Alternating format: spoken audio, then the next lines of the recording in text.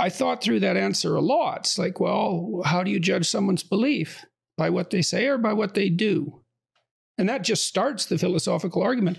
It's another example of the fact that it's very difficult for us to rationally defend evolved institutions because they weren't exactly constructed on the basis of rational argument.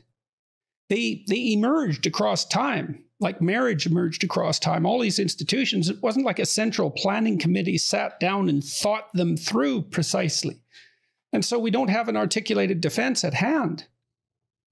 I, I think the reason people don't like your, uh, on either side of the argument, maybe don't like your answer is because they want to get at the question of faith and they're trying to make you answer that right, question. but they have a misconception so, about what constitutes faith. Like I can give you an example. So you might say, well, faith means that you believe things that can't be empirically demonstrated.